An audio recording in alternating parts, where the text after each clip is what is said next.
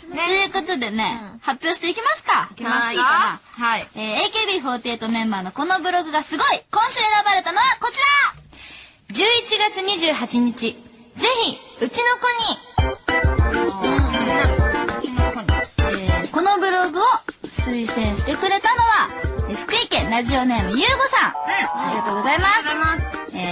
感想。ゆきりん、その子どこで買ったの？教えて教えて。私に？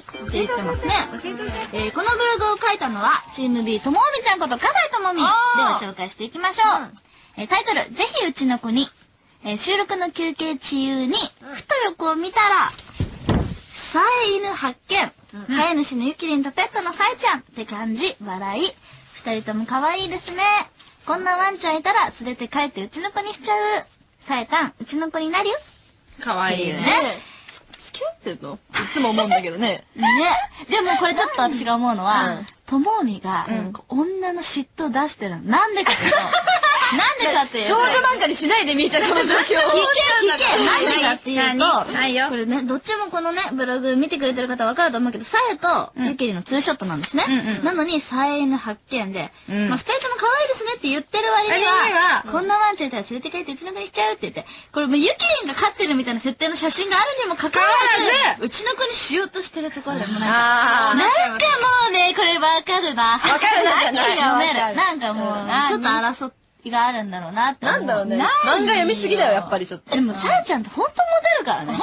やばいよ、競争率高い、マジで。今日も、なんか、さえちゃんがリハーサルにちょっと遅れてきたんだけどジュリナがずっと、えー、かっこいいってずっと言ってんの。ずっと言ってたね。それで、ジュリナちゃんがスンって、私が教えますって言って、まず教えに行って、二人で練習してるところを北原がね、うん。って言って恋する女のまなざまなざしで見て、まなざしで見てでゆきりんもね、なんか、なんかなんて、何でユキリンはちょっと余裕があるの？それでさ、なんかさ、ちょっと遠目で見てなんか手振ってたよね。そうそうそう。さえちゃんがちょっと手振る。そうそう、なんか、なんかみんなが、みんなが、さえちゃんかっこいいって言ってる時に、なんかほ、なんか後ろで微笑んでるみたいな。見守ってんの。うちのうちのですけど。で、それね、この間はさえちゃんが来て、なんかさえちゃん全然そんなゆきりんの話してないのに、ゆきりんになりたくなっちゃったとか言ってきたのよ。嘘ほんと。だから、さえちゃんに聞いたらなんか、いや、みんな好きだよみたいな、ちょっと、あイケメンボーイ発言をされたんだけど、どうなの？さえちゃんに会いたい。いや、行いやいやいや、もうさ、行けよ、そんなんやめようよ。なんかテンション下がる。そうだよ。今ここの状況が楽しいよ。ごめんすいませんでした。